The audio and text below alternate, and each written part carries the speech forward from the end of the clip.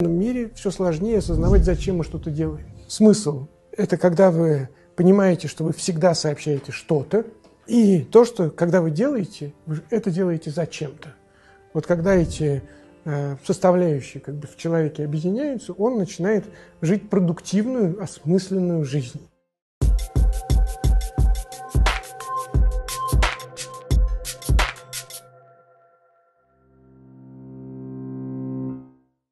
Чем роль смыслов и, и как э, эм, можно концентрацию смыслов в своей жизни э, ну, э, увеличивать, развивать, что ли?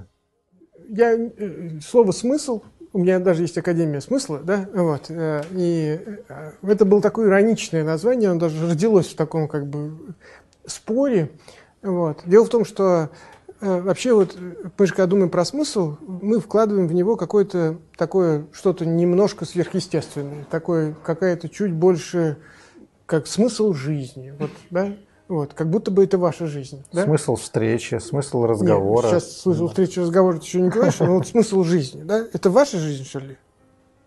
Вы что ли решили жить?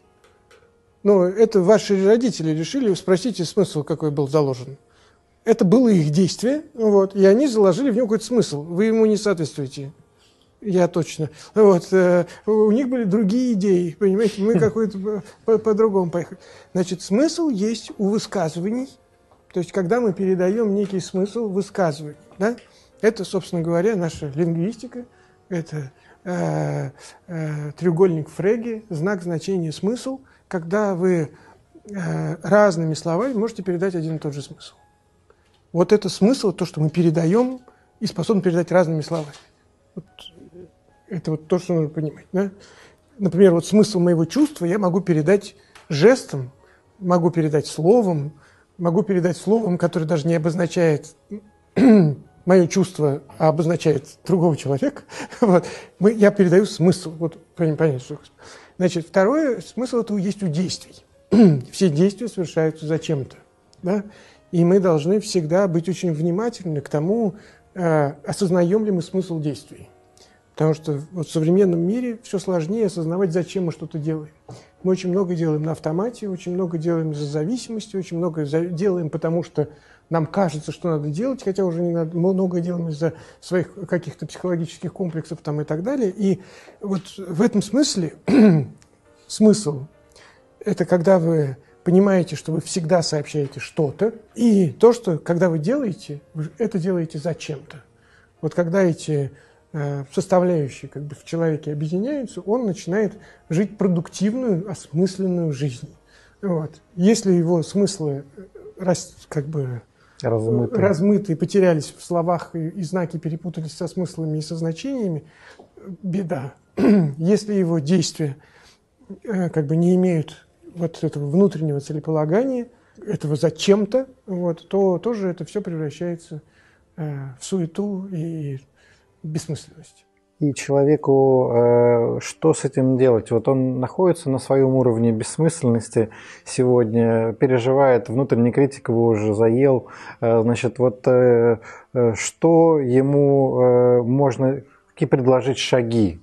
Да, вот, э, ну, понятно, наверное, книги, да, как-то вот оттуда что-то такое вот э, соприкоснуться. Что-то кроме книг вот есть э, э, по эволюции внутреннего смысла человека. Что это такое? Какие-то шаги, практики, не знаю, просто взгляд на жизненные обстоятельства просто под другим углом?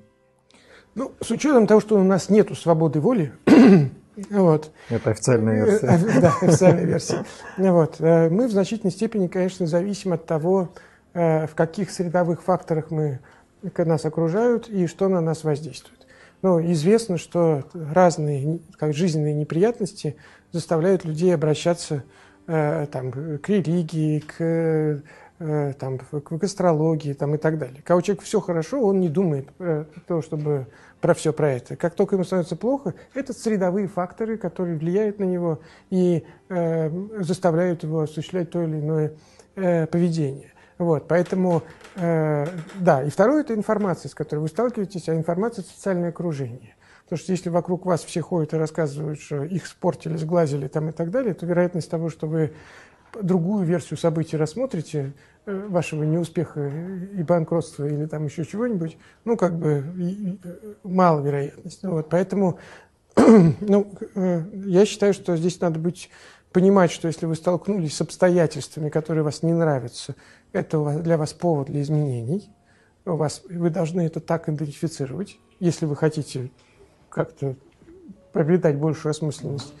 Вот, э, а не как бы не, как не, не, не, не какой-то удар или там проблему и так далее. Это э, новая возможность. Вот, всегда э, все неприятности это новые возможности, все хорошее построилось из чего-то плохого. Вот. И, и второе это вот информация, с которой вы имеете дело. Вот. От того, в каком социальном э, пространстве вы кружитесь и что эти люди говорят. Вот. Потому что в конечном счете мы тоже не просто читаем книги, мы читаем книги, которые читают люди, с которыми нам интересно разговаривать. Резонанс возникает. Резонанс, резонанс да, на уровне смысла да, как раз. Да, поэтому это вот какое-то социальное окружение. Угу. Ну вот все. Используйте падение.